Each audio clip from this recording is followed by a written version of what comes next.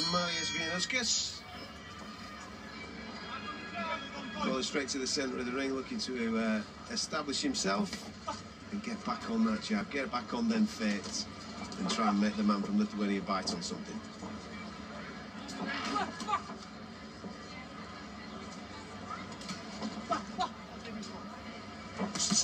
Lovely. Nice little combination there from Colin. Good use of his feet, in and out of range once again.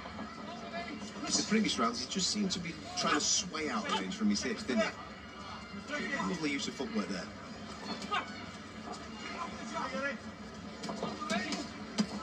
Good stuff from Colin, looking to uh, attack that body, which got him a little bit of success through the first round.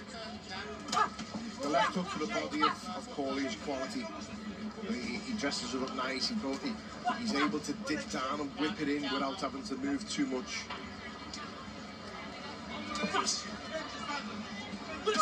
And again, there it is. It's a signature punch, isn't it? That's why I keep saying, not just only that, but it's very, very similar, in my opinion, to what Kevin Mitchell used to be like. He was one of my favourite fighters to watch. Him alongside the likes of John Woody, fighters who were just all action, who could, who could punch. Colin downstairs with a jab.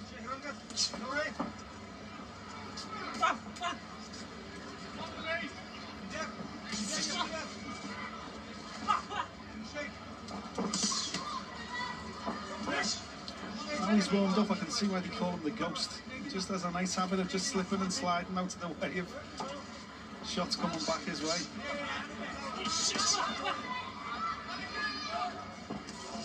Well, you can see, just going through the repertoire here, just seeing if there's something there that can open up.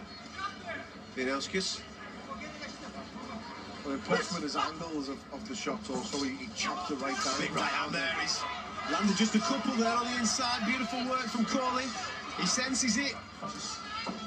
Going head on him, he's landed another big left hand there. Vysniauskas taking him and firing back every so often. But Cawley very successful there with some of the work that he was doing, especially with the uppercuts. So confident when shots are coming to him, Cawley. He just seems to have a natural swagger about him, doesn't he? Oh, just before the low blow, that chopping right hand what landed Yeah. is what I'm talking about. How he varied. Comes over the top of the how he- guard, doesn't yeah, it? variation with the angles of, of the punch, what he's throwing. Just getting a little warning there from the referee. Keep him up. Only a few seconds remaining in this second phase, but Cawley settled into his work now, starting to let his hands go a little bit. Got clipped again there, just a touch.